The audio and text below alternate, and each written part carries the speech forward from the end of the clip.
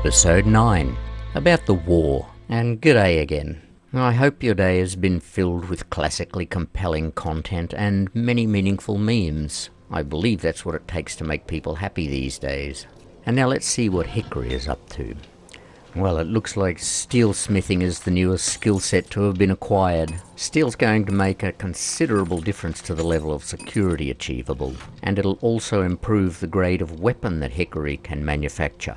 Not to mention armour, and just to make sure I don't mention it, I'll talk about something else now.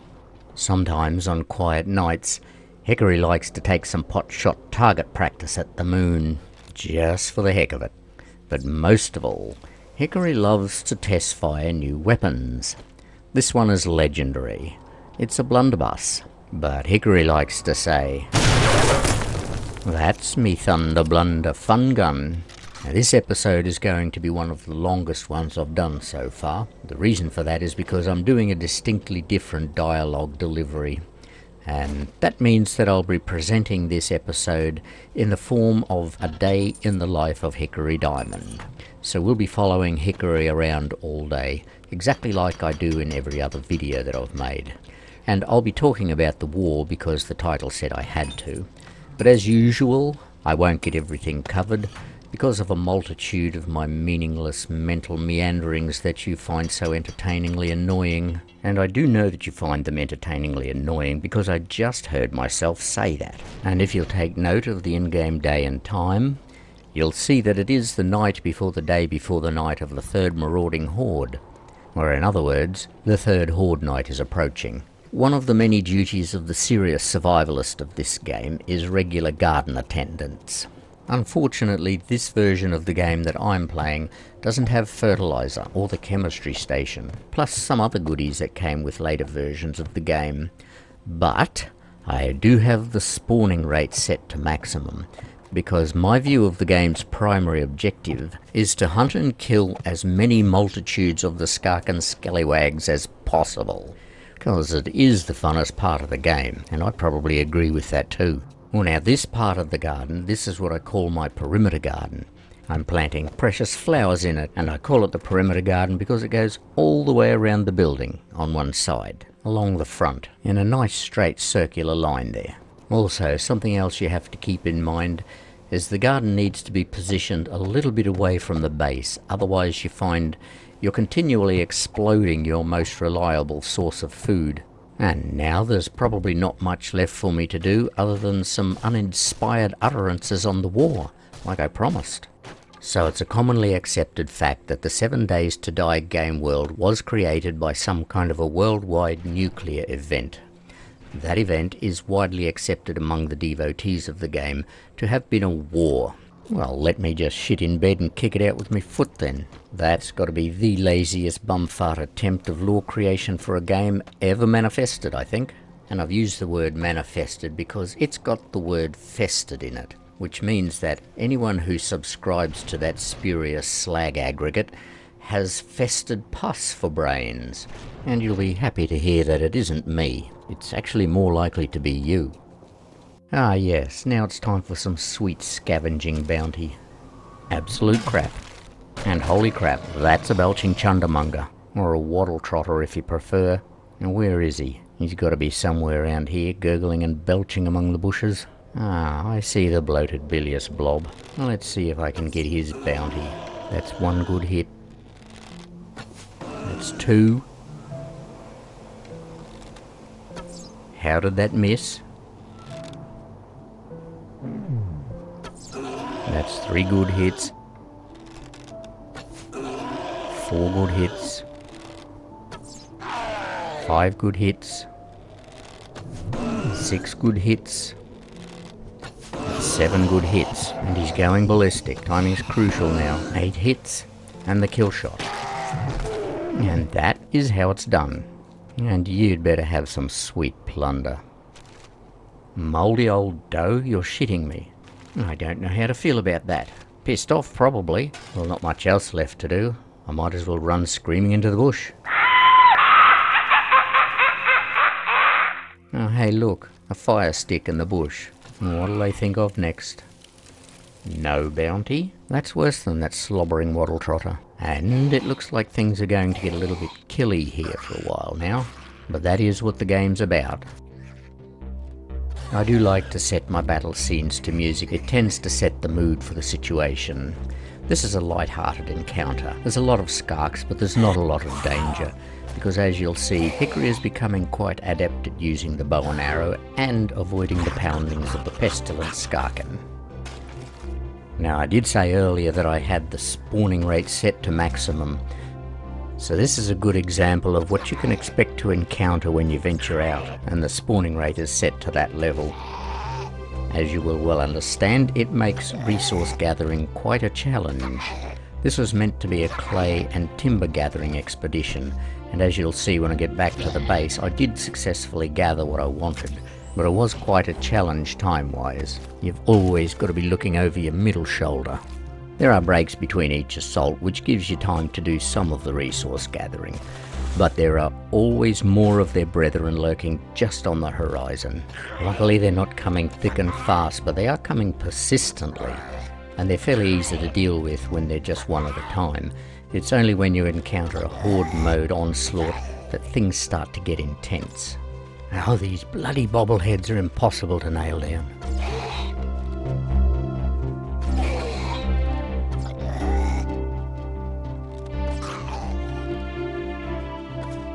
But then, sometimes you just get lucky. Now, earlier I said this was supposed to be a resource gathering expedition, but I've chosen not to put the resource gathering in this video because I figure that the kill sequences are the more entertaining of the two activities. Plus, the video is longer than usual already, so something had to go. So shoveling and chopping got the chop.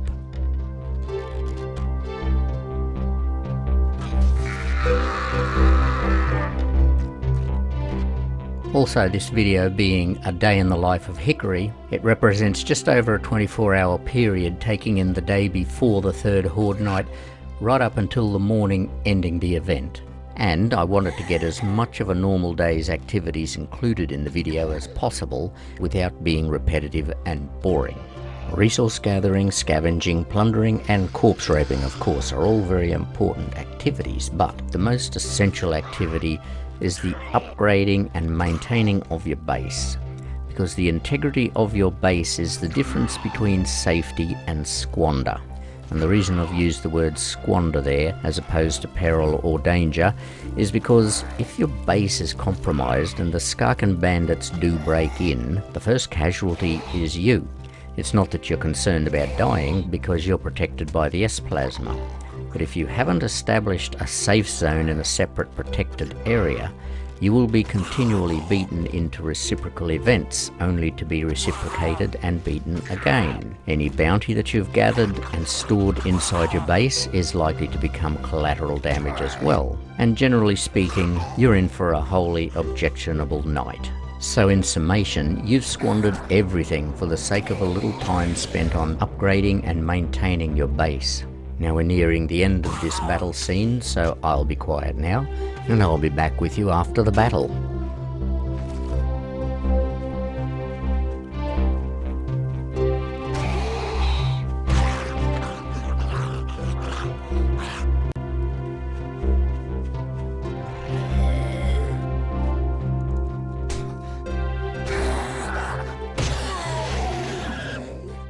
Well, now let's get back to yakking about the war.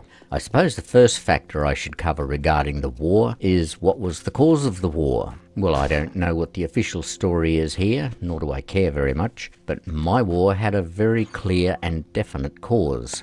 But before I get into depth talking about the war, there is something else that I feel I need to explain a little better. I have mentioned it before in episode 1 when I gave you a quick explanation about why I'm making these videos. In the scrolling introduction of episode 1 I said, quote, I only have one problem with the game, and that is the crappiness of the official backstory. I'm a little OCD. I need a full and complete rational explanation as to why things are the way they are. But that doesn't exist, so I came to the conclusion that if I were going to continue to play this game, I would have to create my own version of 7 Days to Die lore. End quote.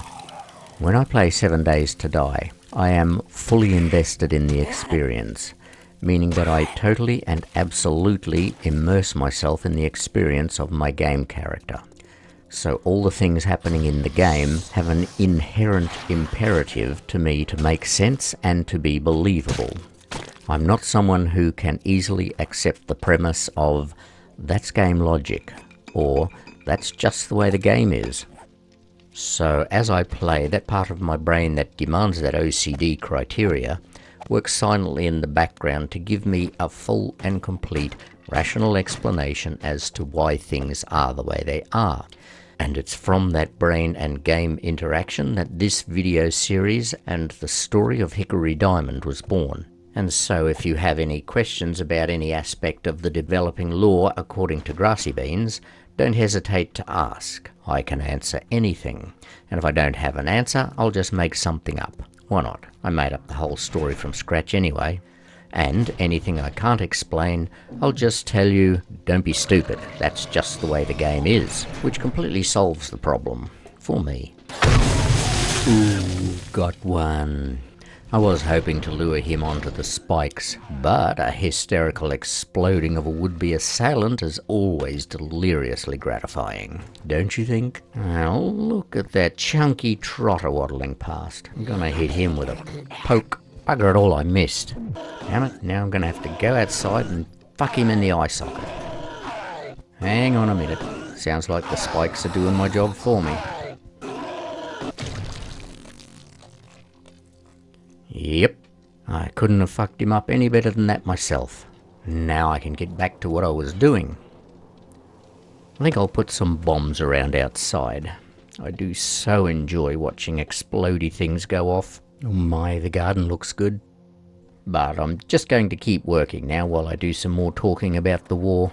So, if you were paying attention in episode 6, you'll know what caused the war according to my lore. But for those lazy bum farts who either didn't watch episode 6 or didn't pay attention during the video, I'll say it all again.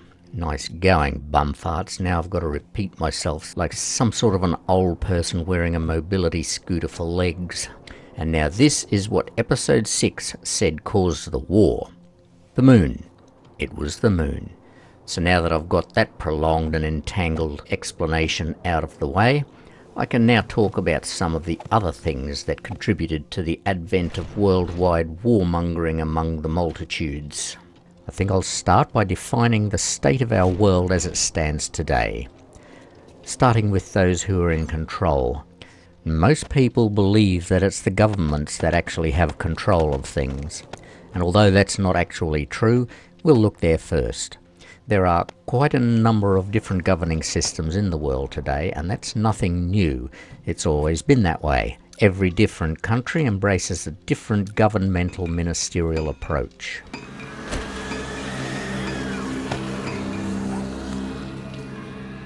And there heralds the curfew. Time to see how many boobies my booby traps have snared. I do like booby traps, and that's because I'm quite fondle of boobies. Well, that's one. And there's another. Well, the spikes are working a treat. But nobody seems to be interested in my bombs, and after all that trouble I went to putting them there. Now, but what's this? A couple of squirming skunks are about to trigger a blast. This should be reasonably entertaining. Blast, the bloody bomb didn't blow. Just so close. You're all so stupid. Look what they're doing. It looks like a slow motion stampede of rabid sloths. Well, it's probably time I whipped out me whopping great thunder gun, I think. Ah, oh, the bombs! I missed it. Well, that was fundamentally frustrating. Gonna kill someone for that. You. Well, that's odd. I don't feel any better for that. Maybe if I do it again.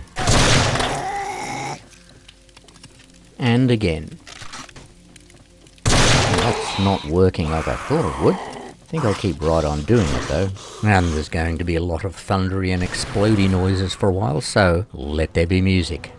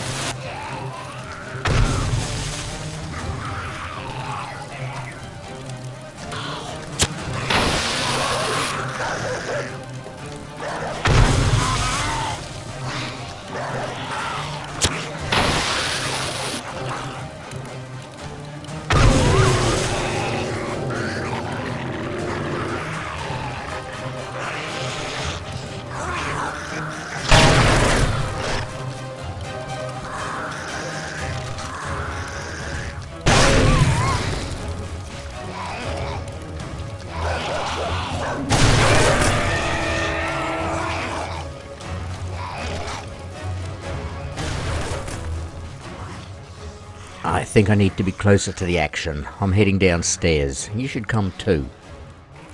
Uh-oh, they've erected a hole in my wall. Well, I'm not at all pleased about this erection, so this is what you get.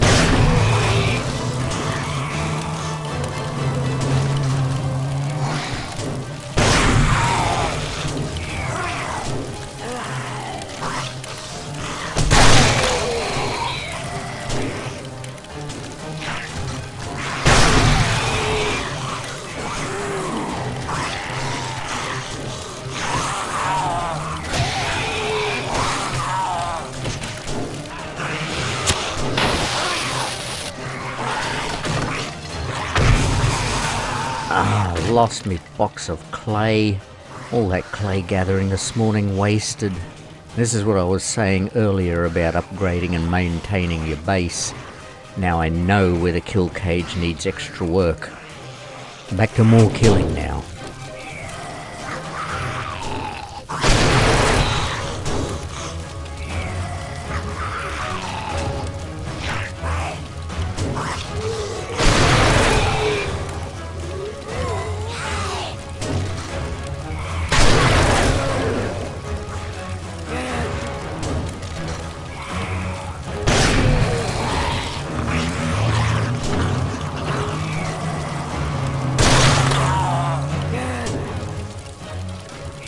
Should be fixing these holes before some creepy crawly comes skulking in.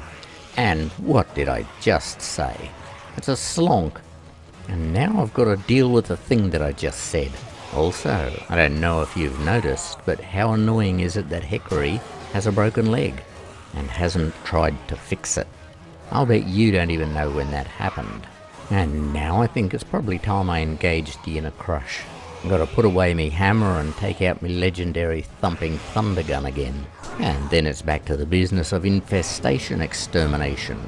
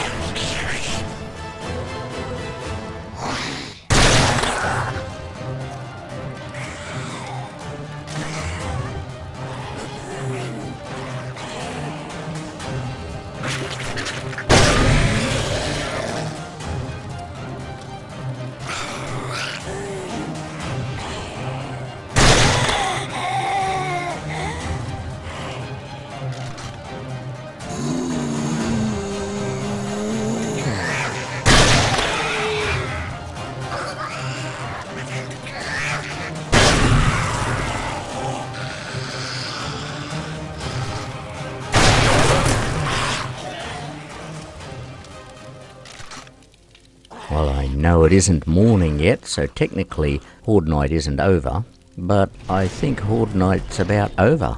And I think I'll clamber up the ladder and do some business on the roof that I wouldn't normally do on the ground. Business like see what's out there, which is precisely nothing. Or maybe blow something up. Oh dear, that's in my shoe. Well, that'd pluck a suckling pig. What did I just do? I think I've just herniated my left cleavage. This'll fix it. It fixes everything, especially herniated cleavage. So now that I'm all unherniated again, let me pick up with the war again. The last statement I made before the curfew was about all the different forms of government. Or to be more precise, I said every different country embraces a different governmental ministerial approach. And so, to pick up from there, it only takes a quick Bing search to see a comprehensive list of all the different forms of government. And yes, I intentionally didn't mention Loogie as the search engine. I've told you before why I don't like Loogie. But of all the governmental ideologies in force, there is one that's worldwide, regardless of a country's governmental ideals. The power of this governing entity encompasses the entire globe. Now sneaking carefully. Bugger, now I've lacerated my femoral artery. Bleeding profusely is no way to enter your kill cage. And I've left the door open. Go and shut it. Ah, too late. Ah, rude. Yeah, take that. That's what you get for hitting me while I'm bleeding, you twaddle-clotted thunder cunt. So many interruptions. Now, what was the last thing I said before that colossal cum curdle clouted me? Oh yes, I think it was about the power of a governing entity that encompasses the entire globe, and also transcends the power of any recognised government. It affects everybody, Every living human being is under the rule of its dictatorial influence, and you've known about it for most of your life. It's called money. Money enslaves all who come into contact with it, and particularly those who embrace its ideologies. And if you think you're not enslaved by money, try living without it. Now, I know that it is possible to live without money, but that's not my point. Money carries with it a very specific mental conditioning of scarcity. From what I've seen, money is apparently infected with a psychological virus that embeds within its victim's subconscious a line of programming that states, I need more. It doesn't seem to matter how much money you have, it's never enough. Every person is the same, whether they have $7 or $7 billion. Everyone always wants more money, and it seems the more money people have, the stronger is their need for more.